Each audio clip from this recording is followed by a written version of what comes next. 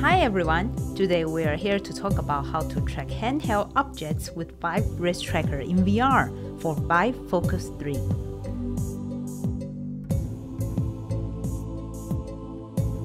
In VR training or VR shooting games, players enjoy using mock-up devices instead of controllers to have a more immersive experience.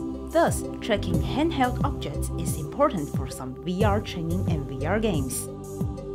However, putting the Vive tracker on a small device, such as a toy pistol, is not always easy. The tracker could affect the weight balance and the appearance design of the toy pistol. This may affect the user experiences of the players while playing the VR shooting games. Furthermore, if the toy pistol has a holster, the size of the tracker will affect the player's ability to put the toy pistol into the holster as well.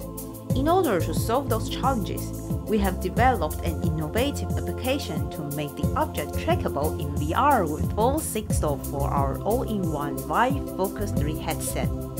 We call this VR Pistol Mode. With this mode, we can easily upgrade any handheld 3DoF device, such as toy pistol, to become a 6DoF device.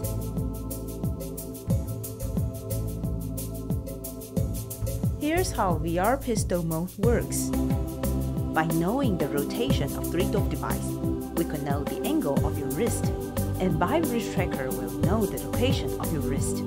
As a result, we can achieve the 6DoF experience with the toy pistol in addition, because the 3DoF device is small enough, users can still properly put in and pull out the toy pistol from the holster without any trouble.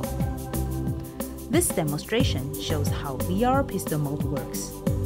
As you can see, the toy pistol can be accurately tracked in VR. Besides, when the user rotates the toy pistol, the pose in VR aligns accurately with the real-world motion. With the Vive Wrist Tracker and VR Pistol mode, the possibilities are endless. If you're interested in VR Pistol mode, please click a link in the description to learn more.